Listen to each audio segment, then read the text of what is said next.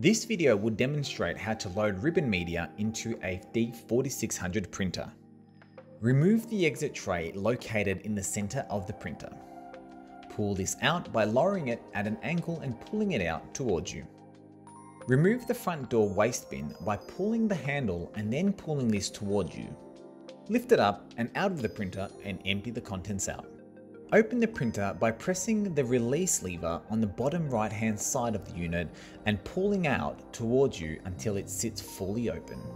If the door does not open to release the trim tray, press the open front door button located at the top right hand side of the panel.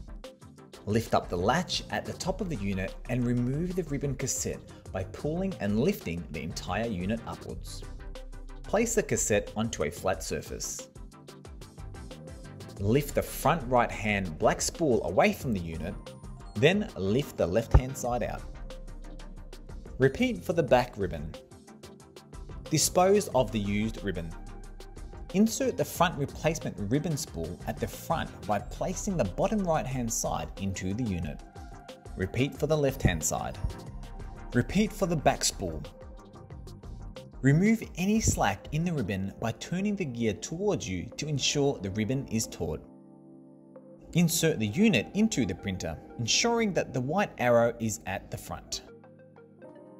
Guide the cassette down into the printer using the side black gears for direction control. Slowly drop it into position until the units click into place. Close the lid at the top and then close the front unit shut refit the trim tray and exit tray into place. The printer will initialize and the display will notify you when it's ready for use.